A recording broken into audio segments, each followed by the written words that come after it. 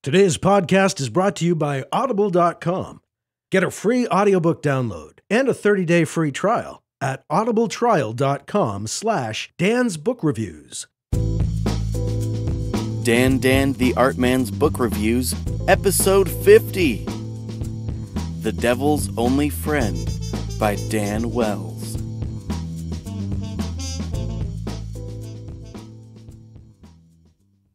Hey everybody, usually I just get right into the book review, but I just wanted to say 50 episodes. Pretty cool. So, in the last episode, if you heard, I said I might do something a little special in this episode, since it is episode 50, if I haven't mentioned that already. And so I decided to review a book that I just finished reading earlier this month. It's called The Devil's Only Friend by Dan Wells, which you already heard me say. But the thing about this book is, it's actually the best book I've read this year. I loved it. It's not even a genre that I'm really a huge reader in. Uh, usually I read kind of feel good um, sci fi or fantasy adventure stories. This was not that at all, but it was amazing. So, anyway, I write reviews of books after I read them, and right now, every time I read a review for the podcast, it's usually a review that I wrote like two years ago. Hopefully, I'll eventually catch up someday and I'll finish reading a book, review it, and then record the podcast episode. I'll probably never get there because I usually read 50 to 60 books a year, so. Anyway, let's get on with this review of The Devil's Only Friend by Dan Wells in episode 50 of Dan Dan the Art Man's Book Reviews.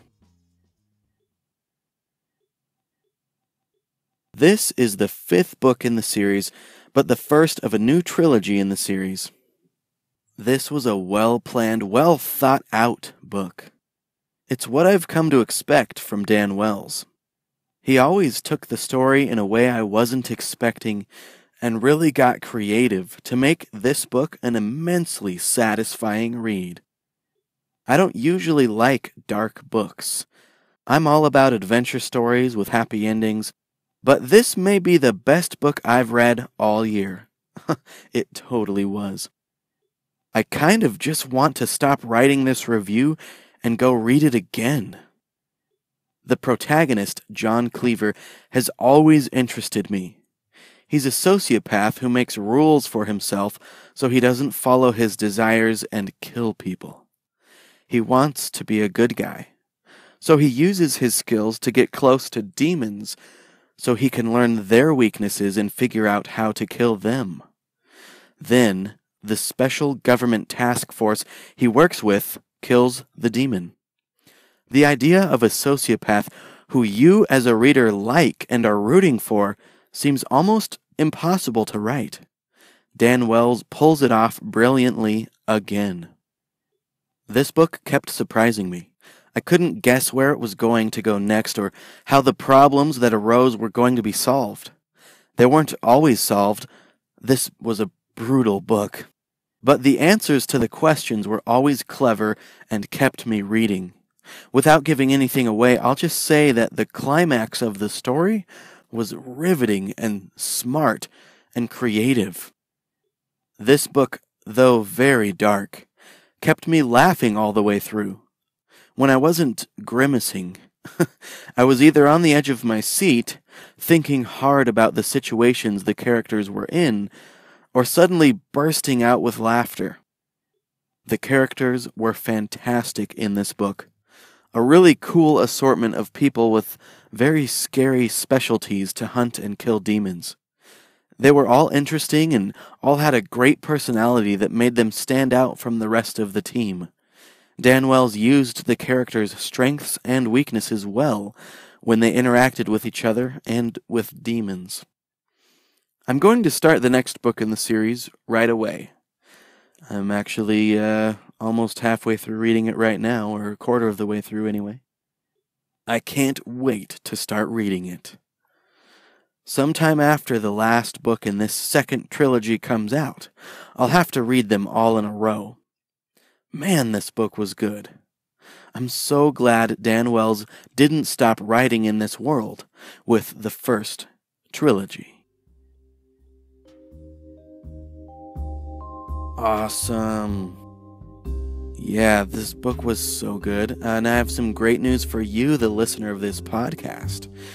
If you go to audibletrial.com slash Dan's Book Reviews, you can get a free copy of The Devil's Only Friend, narrated by Kirby Heyborne, who, let me just tell you, is I've never heard Kirby Heyborne's audiobooks before this series, but man, he is perfect. Uh, these books are in first person, so the main character, John Cleaver, is the narrator of the story, and for whatever reason, Kirby Heyborne's voice fits it perfectly.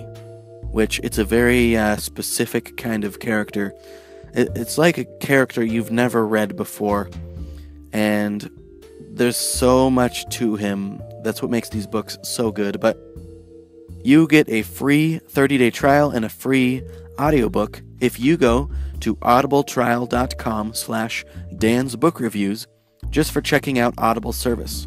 Now, you can get any audiobook of your choice for free, but I highly recommend The Devil's Only Friend, written by Dan Wells and narrated by Kirby Heyborne.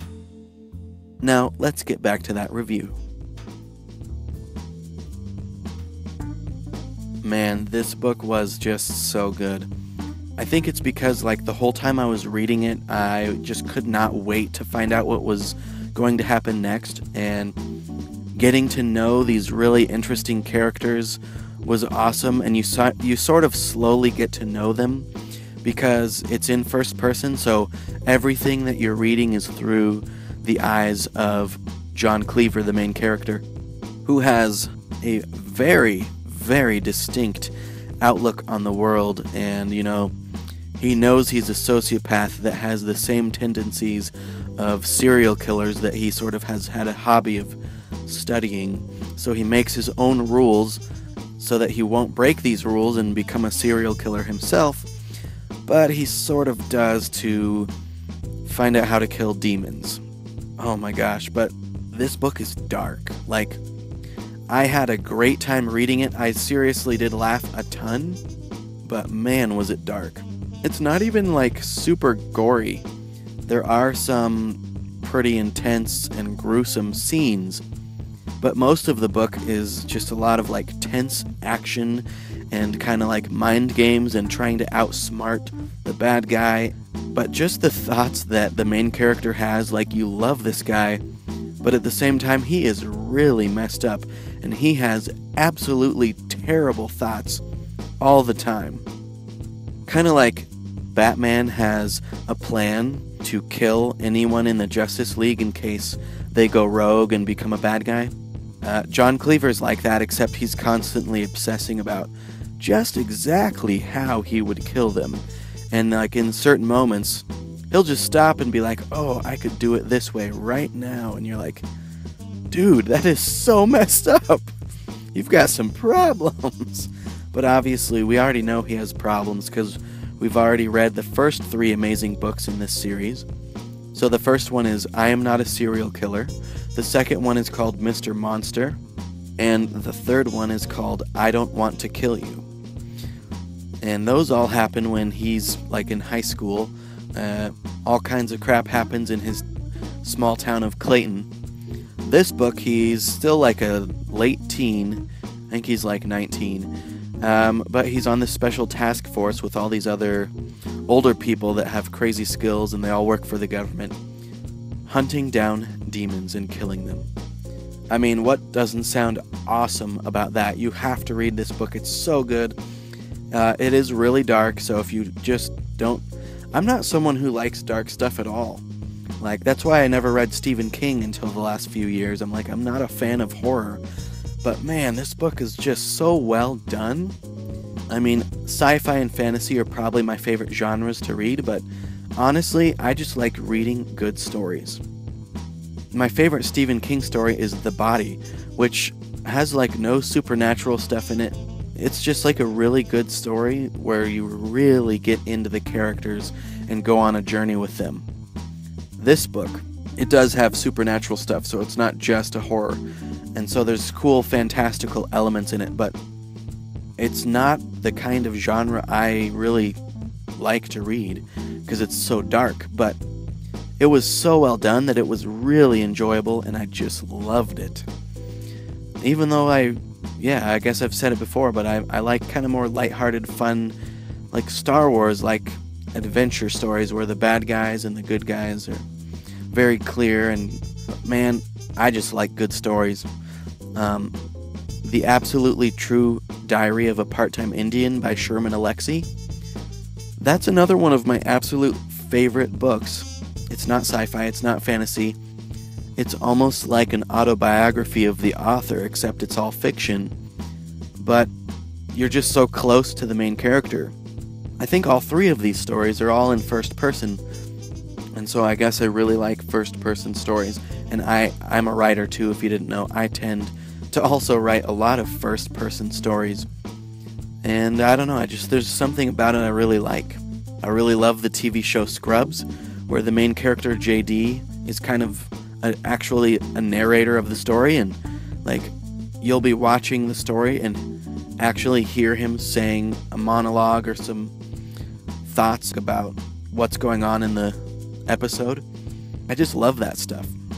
So, anyway, if you want an amazing book that will keep you on your toes and keep you guessing and surprise you, this book was just fantastic. The Devil's Only Friend by Dan Wells. This has been the 50th episode of Dan Dan the Art Man's book reviews. I hope you guys had a great summer of reading. And as the winter is coming and the weather's getting colder, I hope I'm helping you find more great books to curl up with next to the fireplace, or baseboard heater, or under the blankets that are nice, warm, and comfy, or forced air like we usually all have with a furnace. But reading a book by the fire just sounds so much more romantic, doesn't it? Alright, anyways, thanks guys. Hope you have a great week. And we'll talk to you next time with episode 51 Onwards and Upwards. Let's keep reading books. See you later. This podcast is licensed under a Creative Commons Attribution, non commercial, no derivative works license. Music by Kevin MacLeod, found at Incompetech.com. The website that goes with this podcast can be found at dandantheartman.com. And you can follow Dan on Twitter, Google, and Facebook at Dan Dan the Art Man. For Dan, this is Mike Luoma saying happy reading, and we'll see you next time.